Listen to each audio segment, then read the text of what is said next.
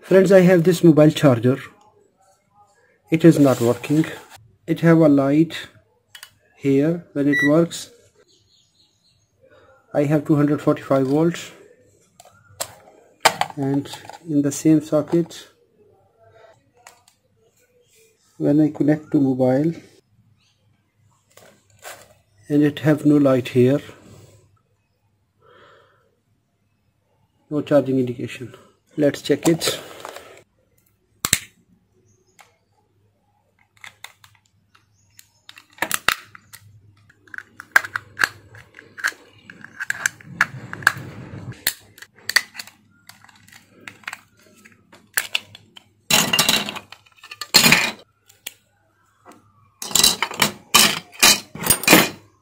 Now I will apply power if you have no good, good practical experience how to deal with power electronics never try to repair. The problem in this charger we can see there are very dim light LEDs are very dim. So that means the SMPS circuit is working to check to troubleshoot. Where is the problem? Let's see it. Set multimeter to AC and check voltage at AC input terminal.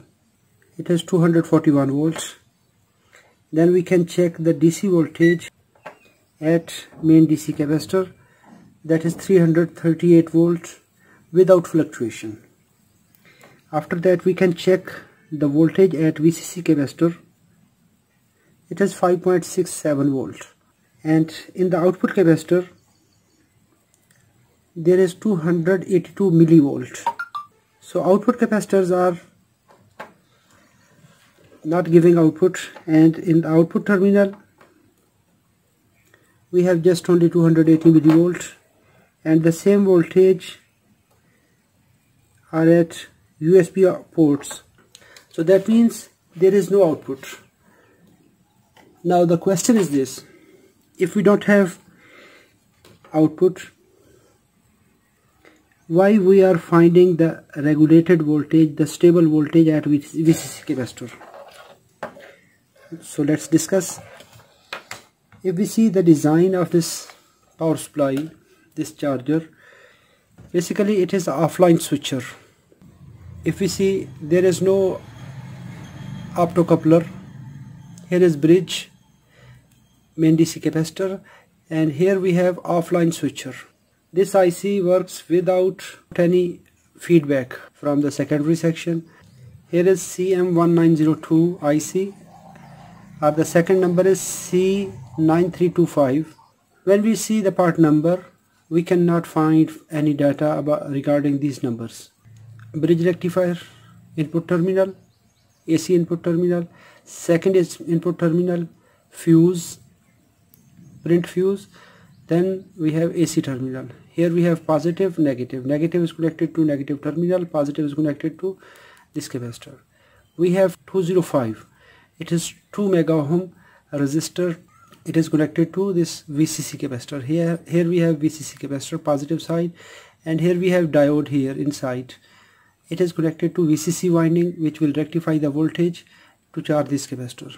Initially the capacitor will charge from this positive voltage then the VCC winding the auxiliary winding will provide voltage and this capacitor will start functioning and it will give voltage to this pin number 2 these two resistors 1 and 2 2 ohm resistor 1 1 R9 1 1.91 and 2 ohm resistor for iSense for, for current measurement because it is offline switcher.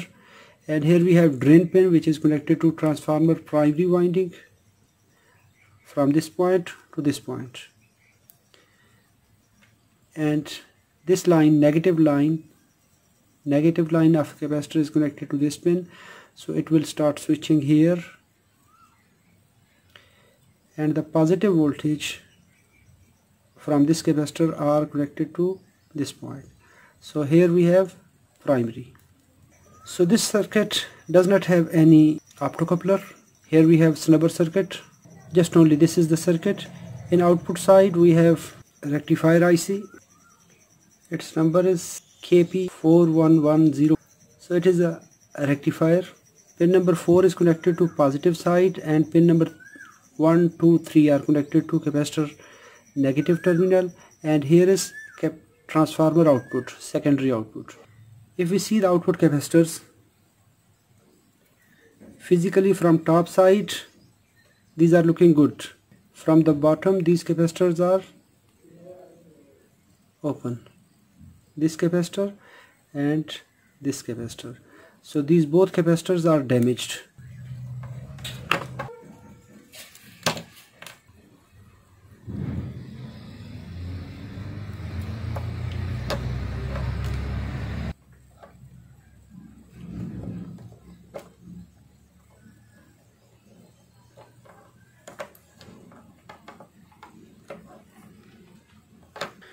so these both capacitors are damaged.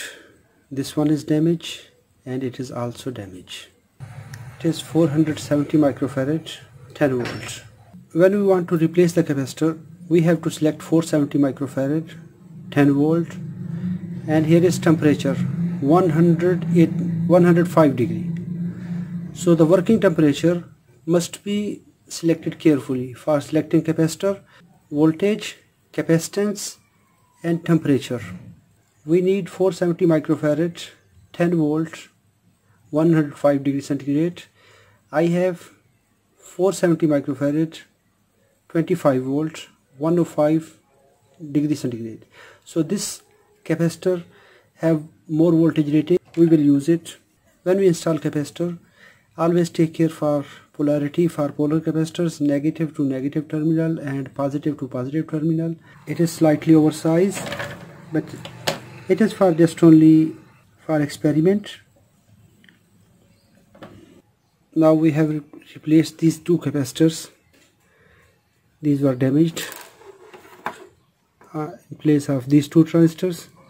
Now I am going to turn on. Let's power it on very nice. We can see it is lighting up.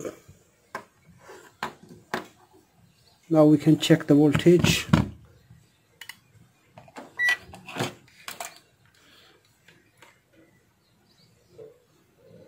DC voltage. It have 4.5 volt output.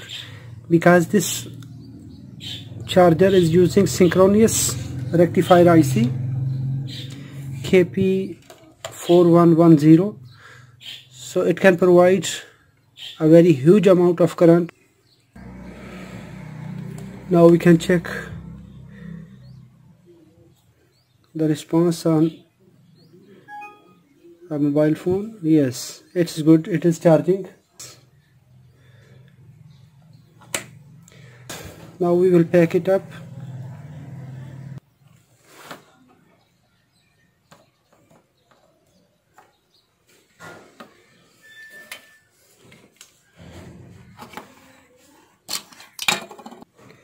These capacitors are oversized but no problem because it was just only for experiment.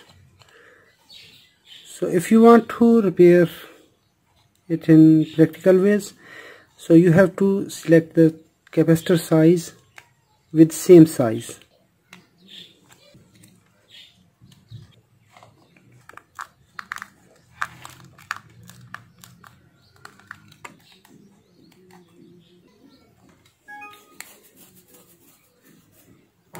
I hope so this video is good for you. If it is good if it is good give a thumb up. If you have not subscribed my channel subscribe it if you want to watch my videos in future press bell icon button. Thanks for watching. Assalamu alaikum warahmatullahi wabarakatuh